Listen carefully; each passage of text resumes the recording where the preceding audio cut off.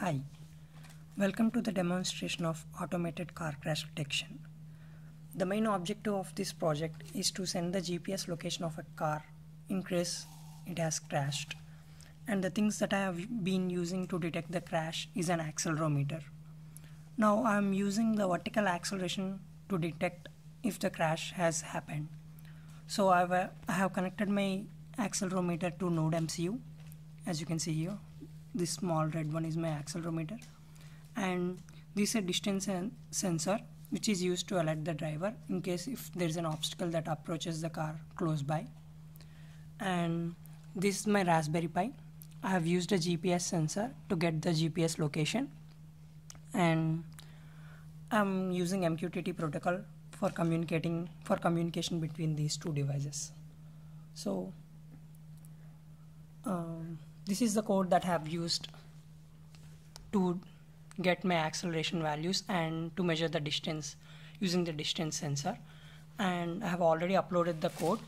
Now as you can see if an obstacle approaches near the car let us suppose this is the car in my case and this is the distance sensor.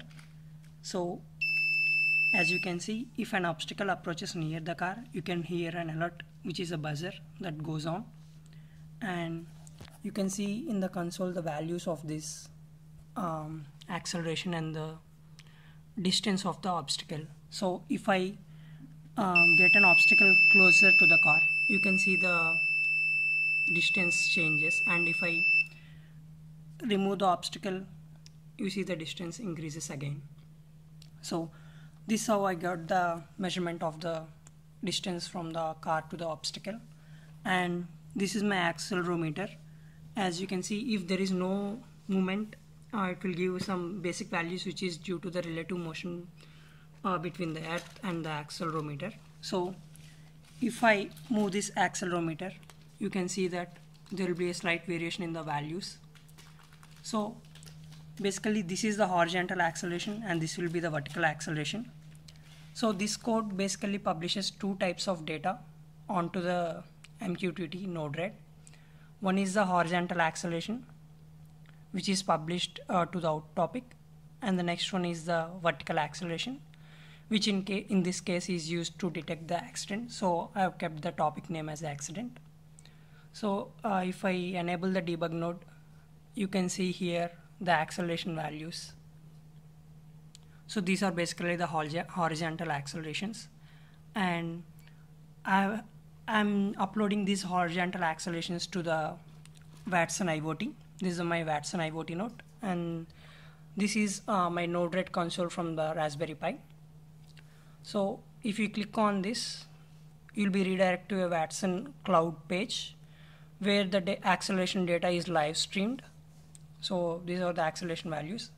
And now if I move this horizontally, uh, you can see that there's a slight, not slight, there's a drastic change in the acceleration values that the graph picks up. So I'm going to show this once again. So this is how the values change uh, based on the movement of the car. And now coming to the accident, this topic is being subscribed in a program in my Raspberry Pi and this is my program so uh, you can see here when the MQTT is connect connected it gets subscribed to the topic called accident. And in case if there is a message that comes to this topic my GP my Raspberry Pi picks up the location from the GPS module and then sends an alert using a mail. So let's check this so this is my vertical acceleration and I have set a threshold value of 1.5 g. So it takes a while to reach that acceleration.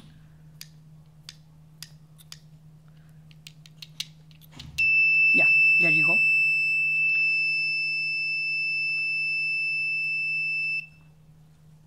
So I've already uh, run the program in my Raspberry Pi. So you can see the output on my Node-RED console which is basically the value that has been published from my Arduino.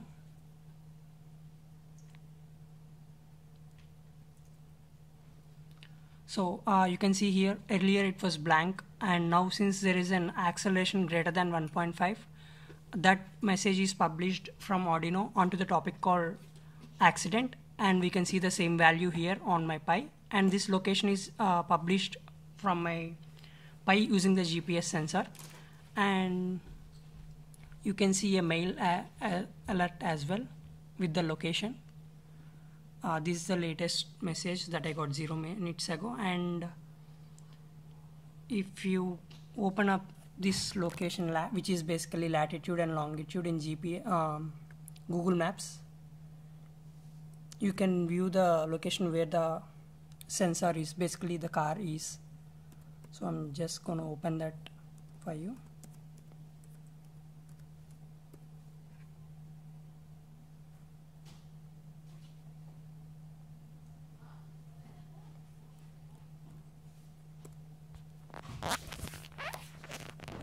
So this currently my location which is the value that I got from my GPS sensor. And now in case if there is a false alarm like there's no accident but the acceleration value goes up and the user don't doesn't want to call for emergency services. In that case I have a switch here which he can turn it which by using which we, he can turn off the alert. Let's see that again how it works.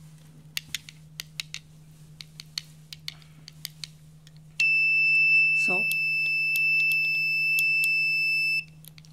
so if he presses the switch in less than 5 seconds he won't be getting any alert so let's check in my gmail as well.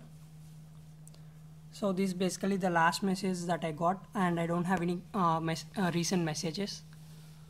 So if he he can dismantle this by pressing the switch.